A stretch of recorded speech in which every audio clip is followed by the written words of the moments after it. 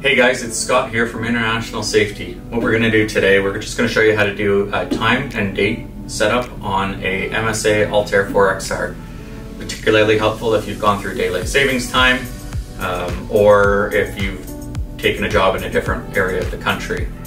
Um, so what I'm going to do today, I'll hop over to this screen here under this camera and we'll, we'll just show you hands-on how to do this.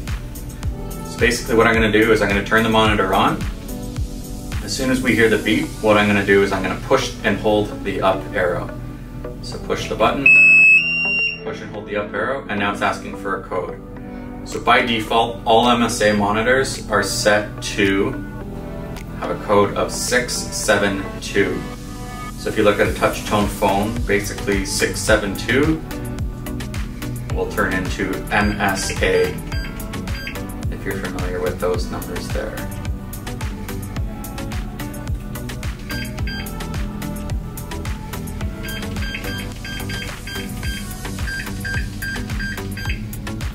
672 is the code.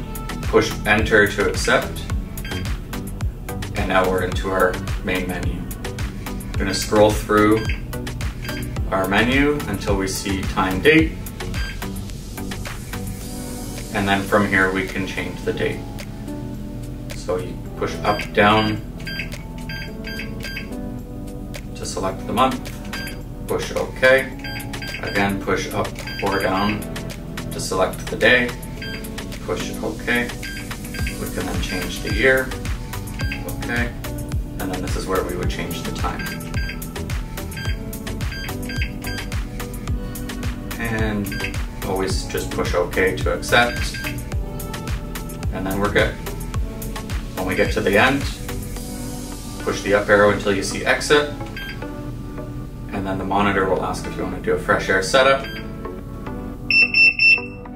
and now you're ready to either do your bump test for the day, your calibration for the day, or if you've already done that, you're ready to start your day. All right, so that's how to do a time and date setup on your Altair 4XR. If you have any other questions, please leave them in the comment section below. Uh, we can answer them there. Or if you head over to our website, we have a full contact us page there. Um, goes right to one of our sales or tech support individuals at the office. Uh, we'd be happy to answer any questions you might have there.